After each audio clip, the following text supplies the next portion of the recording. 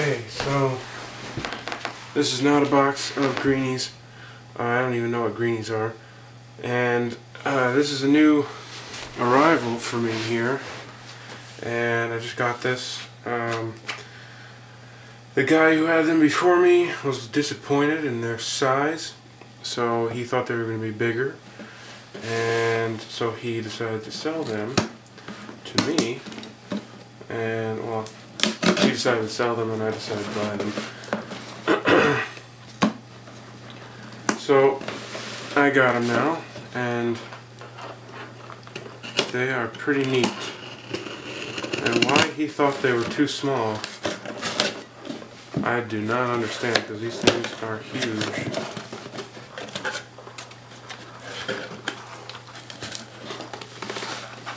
So, okay, you're not coming up. Come up.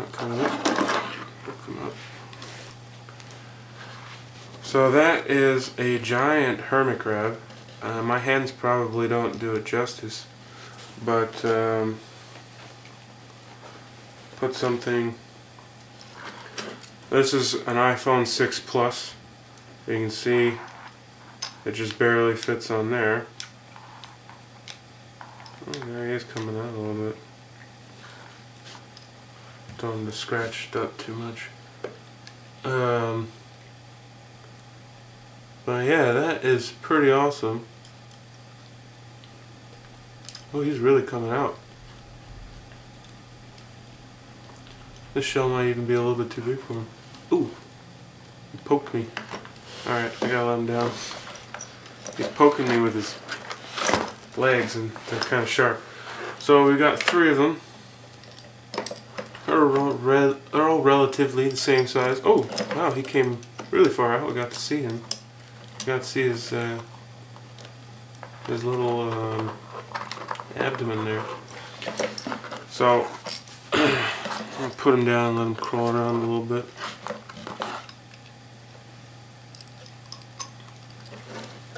this guy is not letting go. Come on. Well, he won't let go, so you guys running off too, huh? So I got a deal on all three of them. Um, and uh, I couldn't pass it up.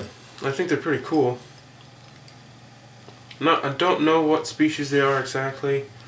I know one of this. There's there are nine species of completely terrestrial hermit crabs, and one is the biggest. Obviously, there's the biggest. Uh, I don't know if this is that species, but uh, I would be alarmed at a larger hermit crab than these.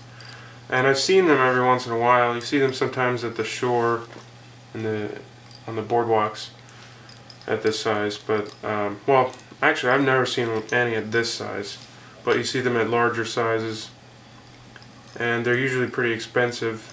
And these were pretty expensive but I felt like it was worth it. And uh, you, you just don't see them. They're pretty rare. And um, so I figured I'd take them see what happens. See what I can if I can do anything with them uh, I don't really plan to breed them. I I've read a little bit about the breeding habits of hermit crabs and, and it's pretty complicated. I don't think that I would get any success out of it. But you never know. Maybe I'll try it sometime in the future. I don't know what I'm going to do when they get bigger though, if I need bigger shells, because these shells are, I don't know where you'd find them conch shells, I guess. I guess that's what they are. Anyway, that's the new arrivals here. Unboxing of the giant hermit crabs. And man, are they big. I would not want to be bit or pinched by this guy.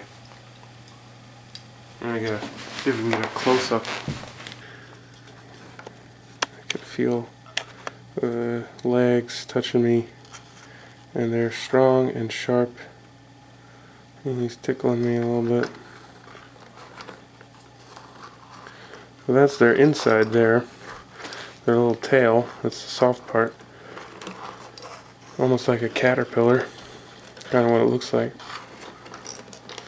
But that is one large hermit crab. I'll show you a picture here. I'll, I'll put a picture of a normal size hermit crab. I'll go back in. He's barely afraid. So that's the that's this guy, and then I'll put a picture of a normal size one so you can see the difference, the comparison. It's pretty pretty crazy.